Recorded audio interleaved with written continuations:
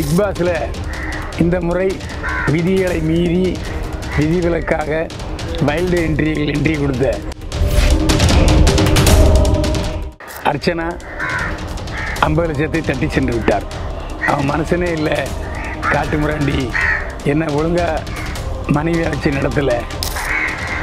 பிரதீப் எதிராக மாயா சதி வேலை பண்ணிய பொழுது சகுனி வேலை பண்ணிய பொழுது அதை கண்டுக்காமல் இருந்தார் கமலஹாசன்.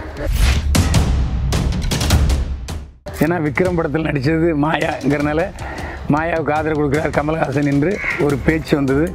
வைல்டு என்ட்ரி ஆயில் உள்ளே போன அர்ச்சனா அதிக வாக்குகள் பெற்று வின்னர் ஆயிட்டார். அர்ச்சனாவுக்கு ஐம்பது லட்சம் கிடைக்குமா என்பது வேறு விஷயம். ஏன்னா அர்ச்சனா வந்து விஜய் டிவியோட ஆள்.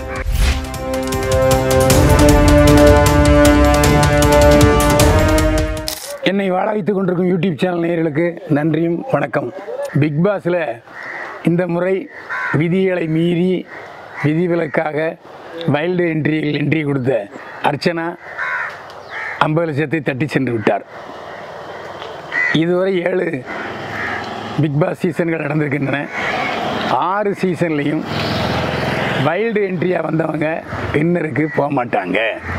அது சட்டவிரோதம். ஏன்னா நூற்றி ஏழு நாட்கள் இருப்பவங்க தான் அதுக்கு தகுதியானவங்க.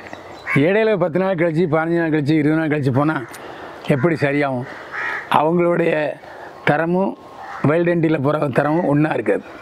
அதனால் வைல்டு என்ட்ரியில் போகிறவங்க வின்னருக்கும் ரன்னருக்கும் வரமாட்டாங்க. இதான் வழக்கம். ஆனால் இந்த முறை பிக்பாஸ் நிகழ்ச்சியில் விஜய் டிவி பிரபலங்கள் காம்பேரரு ஆர்டிஸ்ட் மட்டுமே பங்கேற்றார்கள். ஒரே ஒரு சீனியர் ஆர்டிஸ்ட் விசித்ரா மட்டும்தான்.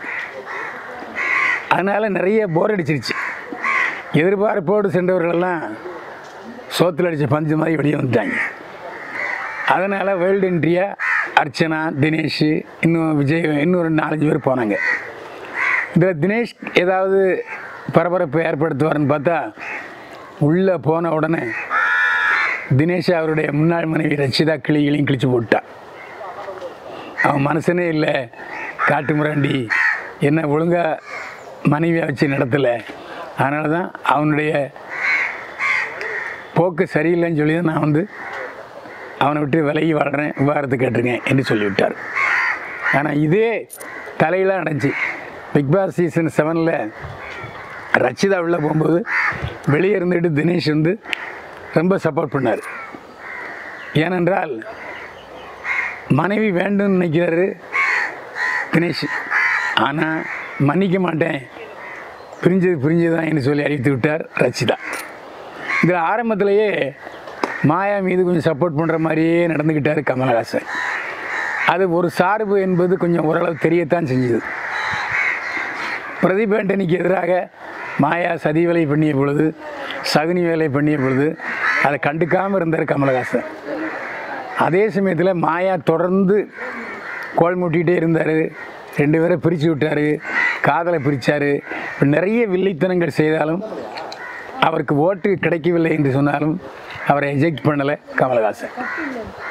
எனவே மாயாவை சைட் பண்ணுறாரு மாயாவுக்கு ஆதரவு கொடுக்குறார்.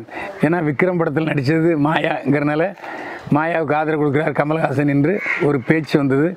வலைதளங்களிலும் எல்லாரும் போட்டு நரைச்சிட்டாங்க. எனவே மாயா தான் ஜெயிப்பார் அப்படிங்கிற சூழ்நிலை வரும்போது திடுதுப்புன்னு அவருடைய ஓட்டு வங்கி சரிய ஆரம்பித்தது. அர்ச்சனாவுக்கு ஓட்டு வங்கி ஏறிச்சு. அப்போது மணி அல்லது விஜயவர்மா யாருனா யாருன்னா ஒருத்தர் வருவாங்கன்னு போகிற இடத்துல மணிக்கு அதிகமான ஓட்டுகள் வந்தது. சரி மணிக்காவது மாயாவை தவிர்த்து வின்னர் கொடுப்பாங்கன்னு பார்த்தா திடீரென்று தலைகளாக மாறிவிட்டது. வைல்டு என்ட்ரி ஆயில் உள்ளே போன அர்ச்சனா அதிக வாக்குகள் பெற்று வின்னர் ஆயிட்டார். இப்போது அர்ச்சனாவுக்கு ஐம்பது லட்சம் கிடைக்குமா என்பது வேறு விஷயம். ஏன்னா அர்ச்சனா வந்து விஜய் டியோட ஆள். ஐம்பது லட்சம்னு சொல்லி ஒரு அஞ்சு லட்சம் கொடுத்தாலும் வாங்கிட்டு போயிடுவார். மறுக்க மாட்டார் எதிர்த்து பேச மாட்டார் வழக்கு போக மாட்டார் புகார் கொடுக்க மாட்டார்.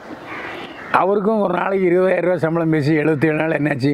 பதினேழு லட்ச ரூபா ஆச்சு அப்போது உள்ளே போனதுக்கு ஒரு இருபது லட்சம் வந்தால் போதாதா? அந்த அடிப்படையில் ஐம்பது லட்சம் கொடுக்கிறார்களா இல்லையா என்பது அர்ச்சனா கிட்ட கேட்டு தான் தெரியும். அர்ச்சனா உண்மையை உடைத்தால் தான் உண்டு. எனக்கு ஐம்பது லட்சம் கொடுத்தாங்க. இன்னும் அவர் சொல்ல தயாரா என்பது இன்னும் தெரியவில்லை. ஆனாலும் அர்ச்சனா வின்னர் என்பது உறுதியாகிவிட்டது. இப்படிப்பட்ட சூழலில் பிக் பாஸ் இந்த முறை கொஞ்சம் டிகிரேட் ஆகிவிட்டது என்பது தான் உண்மை. ஏன்னா இதுக்கு மேலே கமலஹாசன் அதில் தொகுத்த தொகுப்பாளராக நீடிப்பாரா என்பதும் சந்தேகமாகிவிட்டது வெளியில் என்ன பேச்சு வருதுன்னா கமலஹாசன் பிக் பாஸ் சீசன் எயிட்டுக்கு நடுவில் இருக்க மாட்டார்.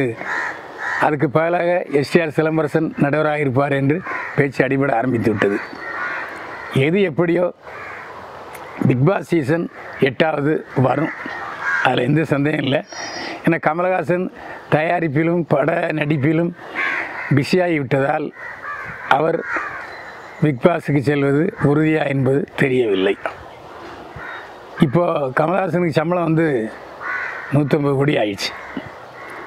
பிரபாஸ் கதனை அழிக்கும் படத்தில் கமலஹாசன் வில்ல நடிக்கிறார். அந்த படத்து பேர் கல்கி. கல்கி என்பது உங்களுக்கு தெரியும். பொன்னியின் செல்வன் எழுதிய நாவலாசிரியர் கல்கி. அது மட்டுமல்ல இப்போ கலியுகத்தில் கடவுளின் அவதாரம் பேர் கல்கி. அது எந்த ரூபத்தில் வருவாருங்கிறது நமக்கு தெரியாது. எனவே நாத்திகர்களுக்கு கல்கி என்பது பிடிக்காத வார்த்தைன்னு சொன்னாலும் கூட கமலஹாசன் அந்த டைட்டில் ஏற்றுக்கிட்டு தான் நடிச்சுக்கிட்டு இருக்காரு. அந்த படத்தில் ஒரு நூற்றம்பது கோடி சம்பளம். அது இல்லாமல் சிவகார்த்திகேயன் நடிக்கிற படத்தை தயாரிக்கிறாரு. எஸ்டிஆர் சிலம்பரசன் நடிக்கிற படத்தில் தயாரிக்கிறாரு. அதேமாரி மணிரத்னம் எழுதி இயக்கி கமலஹாசன் சூப்பர் ஸ்டார் ரஜினிகாந்த் நீண்ட இடைவெளிக்கு பிறகு இணைந்து நடிக்கும் படத்திலையும் நடிக்கிறார்.